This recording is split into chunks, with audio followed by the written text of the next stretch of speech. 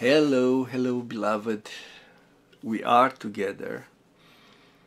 I'm so blessed of testimonies from some of you that are watching this, and you're blessed. It's the Holy Spirit that brings from inside of you this life, this revelation, this truth he placed it in there. It's been there for a while. But somehow, through these words, through this communication, the Holy Spirit, it's bringing them so you are becoming conscious of them. They are alive. They become active inside you, with you we are talking about parables and I uh, mentioned this few times. All these parables they prove the kingdom of God. It's a relationship. It's not just the seed. It's also the man that plants the seed. It's the process of the seed growing it's uh, it's not just a treasure. It's someone seeking and finding that treasure and the relationship with that field that has the treasure. He sells everything. See, if hearing about the Lord and about the gospel is not challenging and changing everything inside you, then I wonder did you find the treasure? Did you hear the full gospel of Jesus Christ? If it's not absolutely touching every part of the dough, like the yeast, East is touching every part, if it's not changing, touching, and influencing, challenging every part of you, then I'm wondering did you get to interact with the living kingdom of God, with the Lord Jesus? It says in Matthew 6 6 first the kingdom of God and His righteousness. It's a relationship. It's you finding Him as your King. Father, you are my King. And Him finding you as His righteousness and he looks at you, my son, you are my righteousness. Seek first the kingdom and his righteousness. Because his righteousness, it's you. When you find him and he is the treasure you've been looking for, you discover who you are do you see that relationship? I think this is one of the most profound messages that we understand from the parables of the kingdom. Beautiful, living words. Praise you, Father. So today we we are exploring, we're reading, we're receiving another revelation. It's the pearl of great price. Let's read in Matthew 13 45. Again, the kingdom of heaven, it's like a traveling merchant buyer seeking beautiful pearls. And having found one pearl of great value, having gone off, sold all, as much as he was possessing, having staked all that he had in one business venture, which would either make or break him. I like this paraphrasing, right? And purchased it in the marketplace. And what if the price was too high? I'm not going to keep everything, anything. I'm not going to keep anything behind. Well, they they want to sell you that that stuff, that Jesus stuff, that revelation, that sonship. That's yeah, it's kind of um, it looks like, sounds like too much, too um, you know, too fluffy and all these things. They want your money they want um, things that you have. I'm telling you, it doesn't matter. If you did find that pearl, then it didn't matter. He didn't have anything else to live for. That was the business venture of his life. He put everything in it everything. Do you see that? What I like, and it's different, lots of these uh, parables, they bring different aspects of this relationship with the kingdom of God. He is an experienced merchant. This is not someone that, um, you know, finds a treasure. We don't even know. He just kind of ran into it and we don't know how he found it. But this person was a diligent seeker of pearls. He was after, something was telling him that one day you'll find something like this. So it's very important that yes the kingdom of god is like a merchant seeking pearls. It's this relationship. Kingdom of god is not just a place where now we're gonna cast the demons we're gonna dethrone the evil and the unjust and just will reign and this is a kingdom that's not what you see here. The kingdom of God is a relationship with beauty. The kingdom of God, it's costing you everything. It's not kind of a utopic, oh yes, it's gonna be now we're gonna be strong and we'll decide what to do and um, we'll do this, we'll go for this. This is not what it describes here. We're talking the kingdom of God.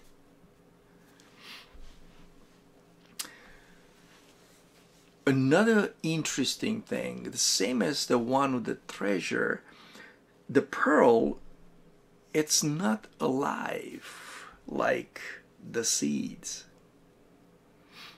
See, the, the seeds even the um, even the yeast, there's some living organism, right? They have some biological life in there. The pearl doesn't, and the treasure didn't. Isn't it interesting? I mean, I, I know we, we have a whole ministry of the word of faith that keeps talking about seeds, seeds, seeds, seeds, seeds, and it's it's true. It's the law of sowing and reaping. It's something that God placed in this earth to work. But for some reason, the Word of God is going beyond that with these parables. We're still talking about the kingdom of God. I mean, how many of you know that if you if you uh, plant plant uh, a pearl, it's not going to grow pearls? Do you see what I mean? I'm sure you do. But what it means here and what it tries to bring us more closer to is this relationship. It's the the desire of finding that, persuading, persistency, the persistency to look for that, and finally giving it all to find that. So maybe indirectly it's not the it's not the death of the seed. I mean the seed had to die. Right? The seed dies in the form that it is to bring a new body, to bring something new. So in a different form, there is a death, even in this by selling everything you have. It's, it's a death to the past. It's a death to the status. It's a death to everything that you think you had. In this case, it's not the seed that dies, but is the finder of the pearl that basically dies to the old life. He doesn't care about everything that he achieved, everything that he had. He sells absolutely everything for one thing. It comes to mind Philippians 3 7 and 8 when the apostle is talking whatever things were to me a gainful asset.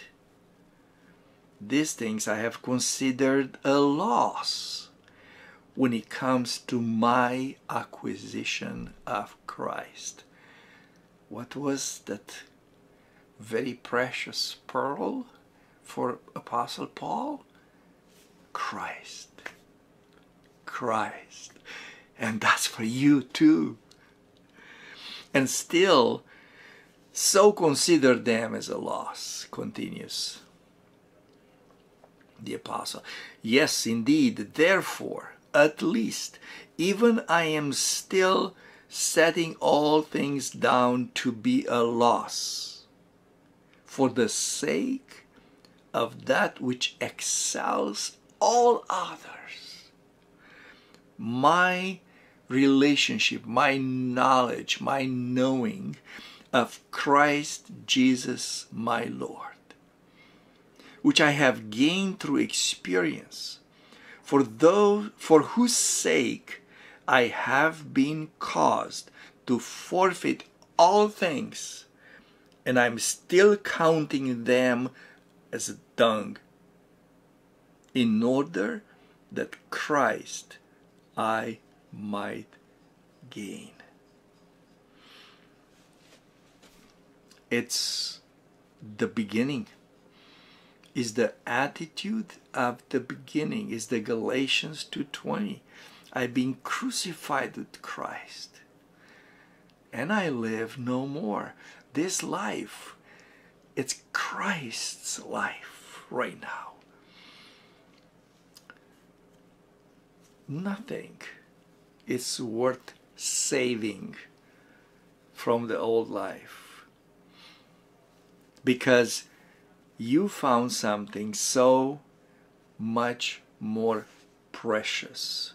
Therefore, everything else can go. Listen to this.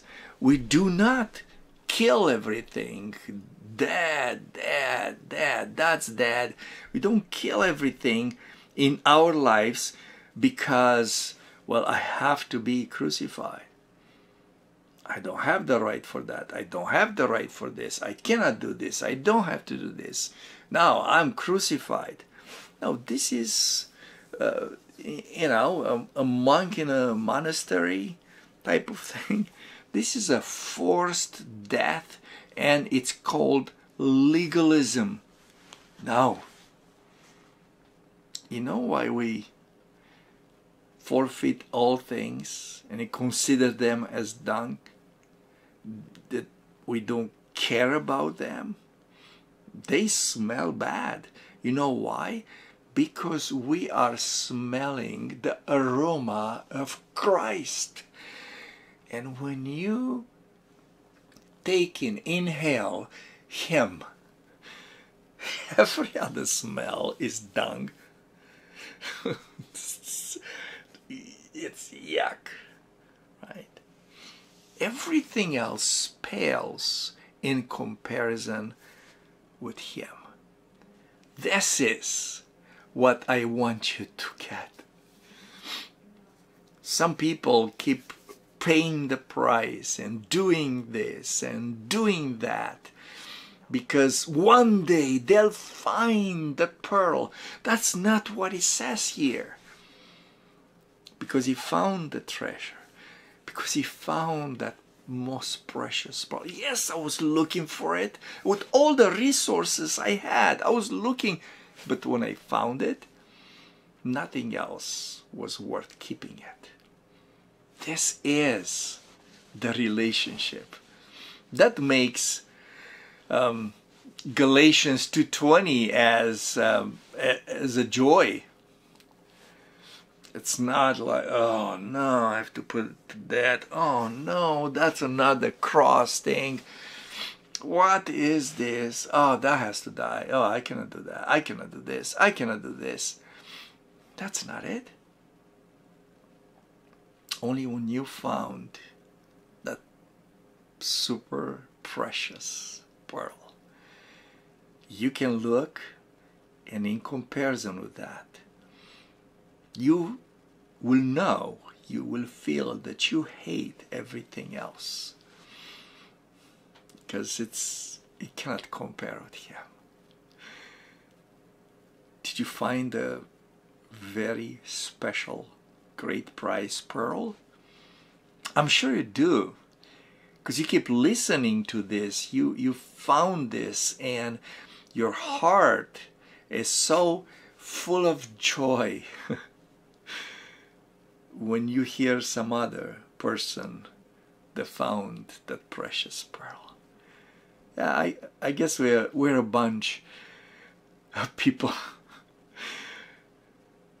that totally found him. Or we're found by him. That's for sure.